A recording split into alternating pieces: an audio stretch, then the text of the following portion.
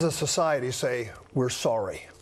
Today in a courthouse in Queens, the district attorney tried to do just that. Three men in prison for years and, it turns out, wrongly convicted. Human error? No. The judge calling this a glaring failure. Sorry won't change the past, of course, but in this case, it might open the future. Here's Eyewitness News reporter Anthony Carlo. Those years were not, and I repeat, they were not kind for me.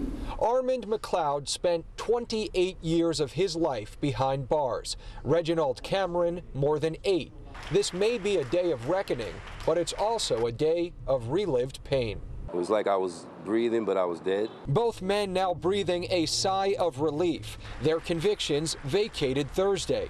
The pair were found guilty in a 1994 deadly shooting, but a review of the case found their confessions were elicited by a detective who had gotten false confessions in other cases, like the Central Park 5 rape.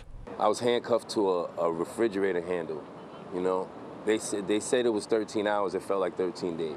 You start to believe what they're saying to you is true.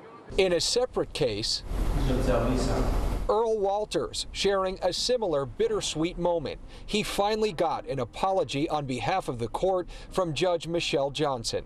That glaring failure in this court's opinion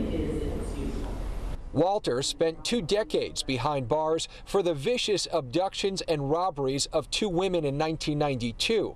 But a review of that case by Queens DA Melinda Katz found new fingerprint evidence that tied the crimes to three other men. Walters and his family can move on.